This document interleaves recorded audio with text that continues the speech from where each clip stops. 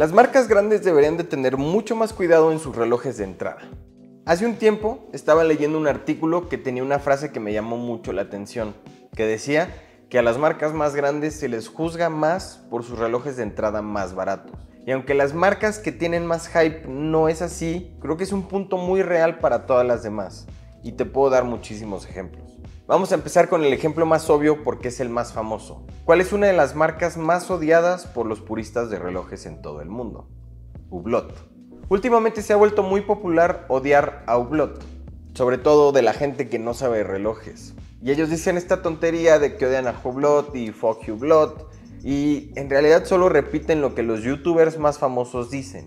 Pero aquí entra esta teoría. Si tú le preguntas a las personas que saben de relojes y que dicen que odian a Hublot, por lo general te van a decir alguna de estas cosas. Número uno, que son relojes muy caros que no tienen la calidad por la cual estás pagando. Número dos, porque tienen la misma máquina de un reloj que cuesta 15 veces menos. Y número tres, porque se deprecian mucho. ¿Y cuáles son los relojes de la marca que crees que están criticando en este caso? Obviamente los más baratos que son los Big Bang. Son relojes sumamente simples que utilizan movimientos Elita modificados, que son movimientos que puedes encontrar en Noris, que son marcas que son muy accesibles y asequibles. Y el problema es que Hublot te vende estos relojes arriba de 7 mil dólares. Entonces todo este odio a Hublot viene gracias a sus relojes de entrada.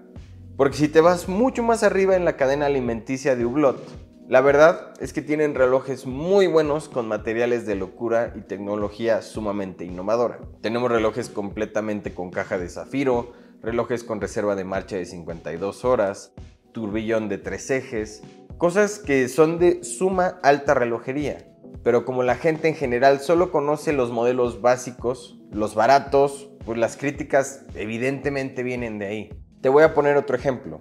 Tag. Tag Heuer es una marca histórica dentro del mundo de los relojes y dentro del mundo de las carreras. La marca tiene todo el legado de Heuer, que era un gigante de relojes en los años 60 y 70. Pero ¿qué pasó? Pues que cuando Tag compra Heuer, estos se dedican a crear modelos baratos de cuarzo como lo eran los Fórmula 1. Y estos Fórmula 1 han sido los relojes de entrada de Tag por muchísimos años, que son altamente criticados, por lo mismo que Hublot porque sus precios son altos para la máquina y la calidad que te están entregando. El principal problema es que por 2 mil dólares te están dando un movimiento de cuarzo, que los relojeros dicen que está remachado. Esto significa que los relojes pues básicamente no se pueden arreglar. Y es el mismo problema de los Moonswatch, pero un reloj de 2 mil dólares que no se puede arreglar, uy. Y regresamos a lo mismo. TAG tiene el turbillón más asequible de toda la industria. Tiene modelos espectaculares como lo son los Carrera, que tienen el movimiento Hoyer y tiene relojes magníficos que siempre van a vivir en la sombra de la crítica y baja calidad de los relojes de entrada.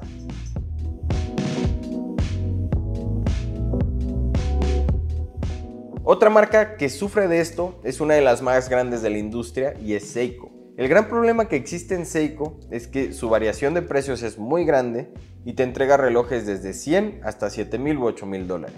Pero para este caso vamos a dejar su reloj de entrada como el Seiko 5, porque podríamos hacerlo con los básicos de cuarzo, pero creo que nada más le iría peor. Seiko siempre está inundado de críticas porque no le hace caso a sus consumidores. Ellos piden cristal de zafiro, bisel de cerámica, materiales de más alta calidad, pero Seiko no los entrega en sus relojes de entrada.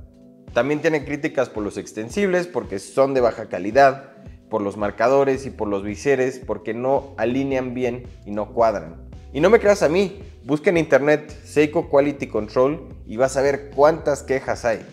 El problema es que todas estas quejas de los relojes de entrada de Seiko se permean a los relojes de una gama más alta y relojes más caros.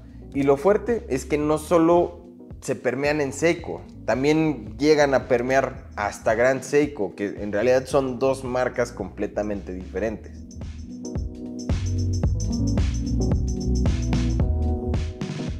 Y así como estas tres marcas, me atrevería a decir que el 90% de todas las casas son criticadas fuertemente por sus relojes de entrada. Si te gustaría ver una parte 2 de este video, déjalo en los comentarios y lo más importante, déjame tú qué opinas.